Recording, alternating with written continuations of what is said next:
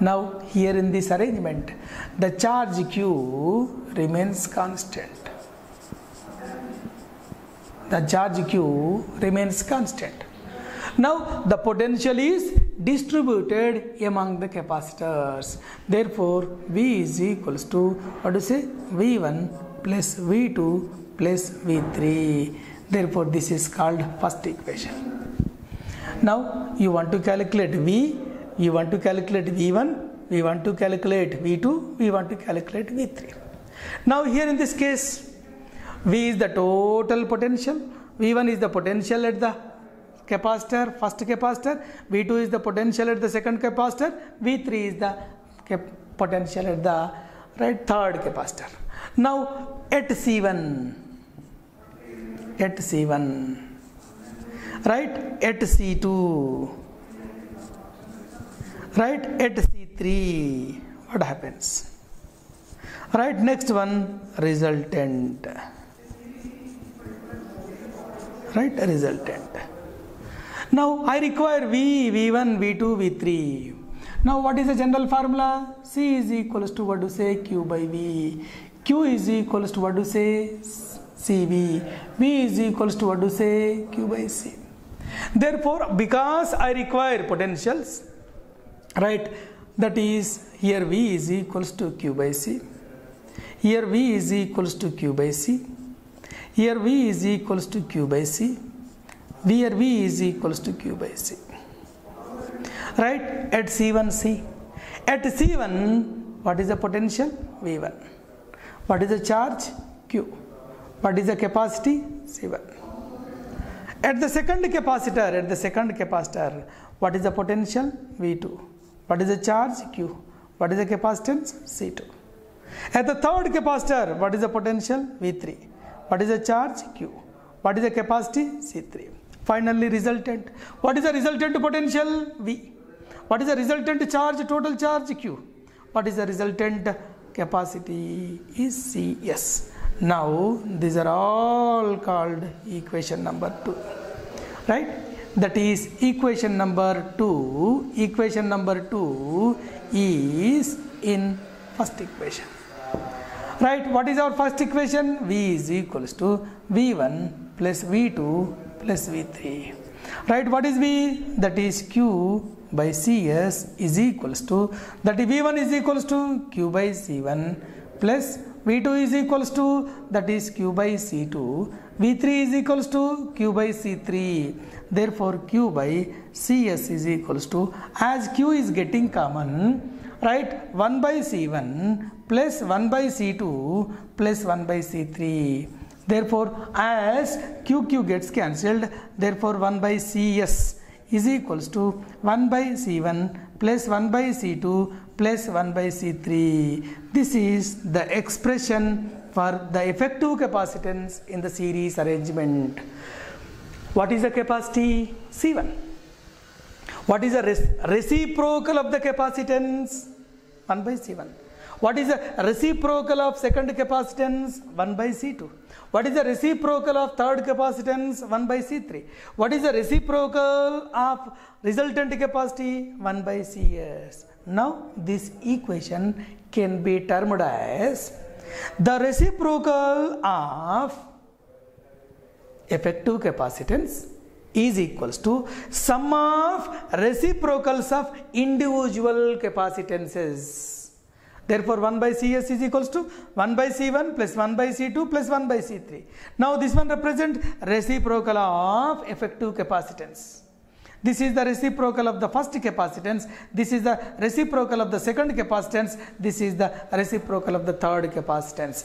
The sum of reciprocals of individual capacities of the condensers is equals to reciprocal of effective capacitance. Suppose only two capacitors are there, only two capacitors are there, therefore 1 by C1 plus 1 by C2 that implies 1 by Cs is equals to what is the LCM? Yes, C1 and C2 therefore C1 plus C2. Therefore, if the two capacitors are there, Cs is equals to C1 into C2 by C1 plus C2. If only two capacitors are there, Cs is equals to C1 into C2 by C1 plus C2. Now this will give you series arrangement of capacitors. Next I will discuss parallel arrangement of capacitors. Now two or more capacitors are uh, in electrical circuit. All the first plates are connected to a common point, all the second plates are connected to another common point and finally close the circuit with the battery. What is the total potential V? What is the total charge Q? What is the effective capacitance of the parallel arrangement CP? Now here in this case, now this is called right first plate second plate now first plate now the first plate is connected to the positive terminal immediately second plate is connected to the negative terminal. This is quite not happen in this case. First plate is connected to the positive plate. Now second plate is not connected to the negative plate. Second plate is connected to the first plate of the first capacitor. Whereas in this case first plate is supposed to be connected to the positive plate positive terminal. Second plate is supposed to be connected to the negative terminal. Whatever the potential here same potential similarly. First plate of the second capacitor is connected to the positive terminal. Second plate is connected to the negative terminal. Here is also potential v. The first plate is connected to the positive terminal. Second plate is simultaneously connected to the positive terminal. The potential is same. But for the charge right? The charge distributes here.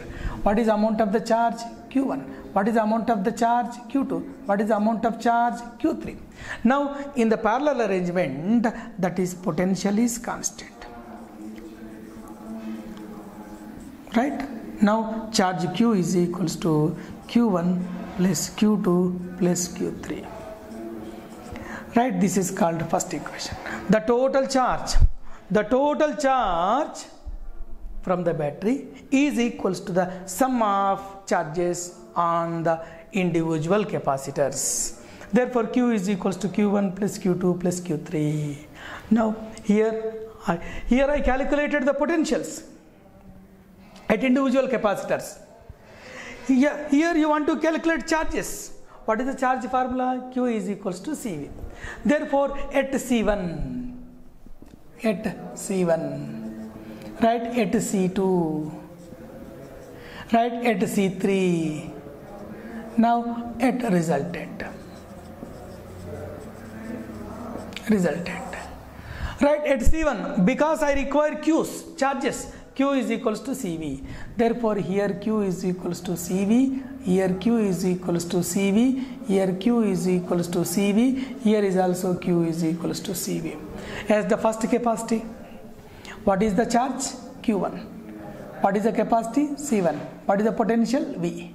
At the c2 what is the charge? Q2 what is the capacity? C2 what is the potential? V.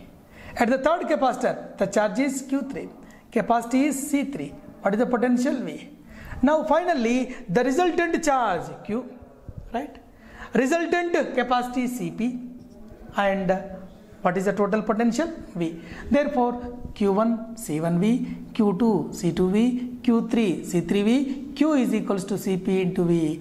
These equations are termed as now 2 now equation 2 equation 2 is in first equation. What is our first equation? Q is equals to q1 plus q2 plus q3 therefore what is q value? Cp into v what is q1 is equals to c1 into v? Q2 is equals to c2 into v. Q3 is equals to c3 into v. Therefore cp into v is equals to v is getting common. Therefore c1 plus c2 plus c3 therefore vv gets cancelled. Cp is equals to c1 plus c2 plus c3 therefore in the parallel arrangement the effective capacitance Cp is equals to C1 plus C2 plus C3 only that is two capacitors are there. C is equals to what to say C1 plus C2 therefore the effective capacitance the effective capacitance in the parallel arrangement is equals to sum of the capacitances of individual capacitors therefore this is the effective capacitance in the parallel arrangement. Now this is the effective capacitance in the series arrangement. In the series arrangement 1 by cs is equals to 1 by c1 plus 1 by c2 plus 1 by c3 whereas in the parallel arrangement cp is equals to c1 plus c2 plus c3